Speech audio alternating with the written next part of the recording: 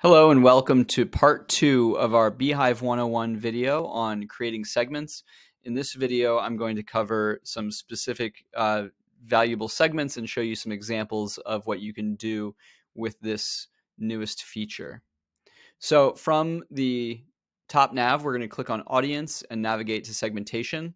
I've already created a couple of these examples, so uh, you know my screen will look a little bit different than yours if you're just starting out, but uh, jumping right in, the first segment that we wanted to cover is an engaged users segment. This segment can be really useful for uh, you know segmenting your subscribers based on their behavior of engagement with a publication. Um, the use case for this could be sending only to users who have engaged and who have been your kind of most fervent supporters, which can help uh, warm IP addresses. It can help you know get better placement in the inbox uh, and make sure that the people you're sending to are interested in receiving your newsletter and are still kind of interested. Uh, in order to set this up, what we want to do is we're targeting people who have either opened an email over a certain period of time or have clicked on an email over a certain period of time. Um, these examples here we have set to 30 and 60 days, but this is really going to depend primarily on the behavior of your audience the frequency of your publishing, and uh, you know some other things like how many links you might have in your publication. Um, the other aspect is going to be ensuring that we're only including users who are actually actively subscribed. So to get this built, we're going to start with the top level logic of we're going to require uh, users to meet one of these conditions, not all of them. So it's going to be either they clicked or they have opened an email. So within there, we see we have these two groupings that we've set up.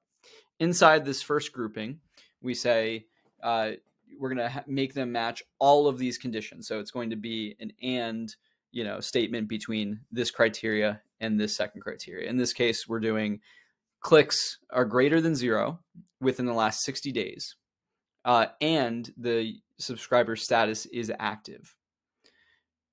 Alternatively, for the second case, and say this that the we're going to be targeting users who have opened an email greater than zero times, so at least once in the last 30 days. Uh, and then we're also going to say that they also have to be uh, active subscribers. Uh, they have to be, of course, not unsubscribed. So when we say that this is going to depend on your own publication, if you're publishing every day, you may want to shorten these timeframes to be you know a user has to have opened within the last seven days or clicked within the last 14 days. Usually we like to have the click logic be longer than the the open logic because clicking is a much uh, kind of stronger indication of engagement versus just opening an email uh, especially with today's world where apple uh, you know mail may automatically open emails having uh, you know, some click logic can also be useful. And if you have a lot of users um, who you know are on Apple devices, you might want to take that into account when building this as well. But regardless, um, this is how we would go about setting up a very basic engaged user segment. So next, we're going to go to this engaged, unengaged user segment, which is going to be very similar, but it's going to almost have be the inverse logic. So instead of saying users can match any of the criteria, we're going to say they have to match all of the criteria, and we're going to have we're going to say that the opens have to be zero in the last uh, 30 days, and clicks have to be exactly zero within the last 60 days. Um, so relatively straightforward in that way. We don't have to worry about users being subscribed or unsubscribed because if they are either, um, but they match that criteria, they would be considered unengaged. Next, we move to um, an example of how we can use our attribute logic to create a segment. In this case, we're creating a segment based on embedded form subscribers. So these are users who have used an external form uh, to subscribe to a publication. In this case, we would go to uh, the condition or group and click attribute, and then we'd select channel from the dropdown is, and then we'd select embed. Very simple, very powerful, can give you a lot of insight. You can make this even more specific by using some of the UTM source and medium information in order to define, um, you know, the website that it came from or the the form, the specific external form that it came from. Next up uh, is an example of a segment that could be created if you're running paid ads, paid media. Typically, uh, you know your your paid ads are going to include UTM parameters. A common UTM parameter is CPC, standing for cost per click, but it could be PPC, it could be paid. Um, you know, depending on the system that your specific case uses. But uh, in this case, we're going to use one group as well as a single line of logic, and we're going to ensure that um, this segment all you know matches all of the criteria.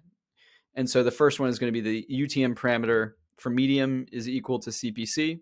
And then we're going to have this group. In this case, it's a contrived example that we're running paid media across a lot of different channels. And we want to make sure that we're capturing the users from Facebook and LinkedIn.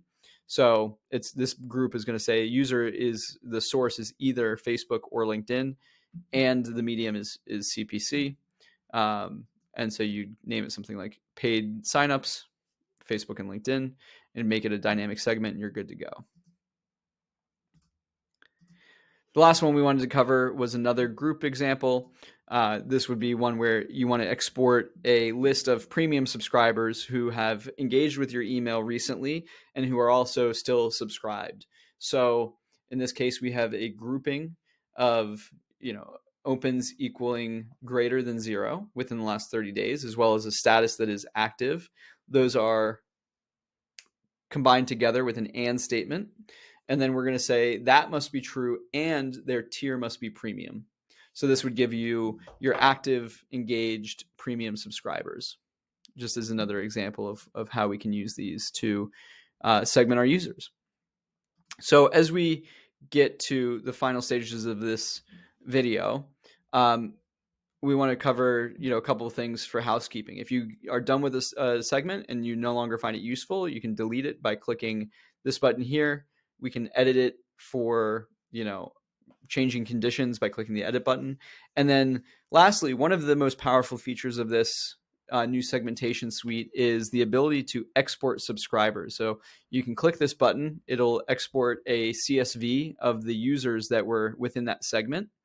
And this can be really useful if you're doing um, you know marketing across social media platforms. You can upload lists of emails and match them to users on the platform. Um, maybe you want to send personalized emails to your you know paid subs- uh, paid subscribers. You could export their emails and send them personalized you know one to one communications. The really exciting part here as well is that you know this segmentation uh, is laying the groundwork for some new features that we're going to be releasing later in 2022, where depending on your plan, you'll be able to uh, you know set up email flows or journeys where when a user meets a certain criteria, they'll automatically be enrolled and eligible to receive, um, you know, an email, uh, you know, that that communicates, you know, a very specific message in that way. The other feature that we'll be rolling out is the ability to send uh, emails on a batch basis directly to a specific segment. So, um, you know, maybe you only want to send a special email to your active paid subscribers. You'll be able to do that very soon. Hopefully, this was really useful and insightful. We'd love to hear about any additional segments that you've been making or that you're interested in making. If you have any questions about how to, you know, find some of the logic or you know you have a segment in mind that you're not really sure how to how to make, please let us know. Would love to help you out, and you know, we love to see what the community contributes and the thoughts that everybody has around um, segmenting their audiences. Thank you for your time, and we look forward to seeing what you make and look forward to growing with you. Have a great day.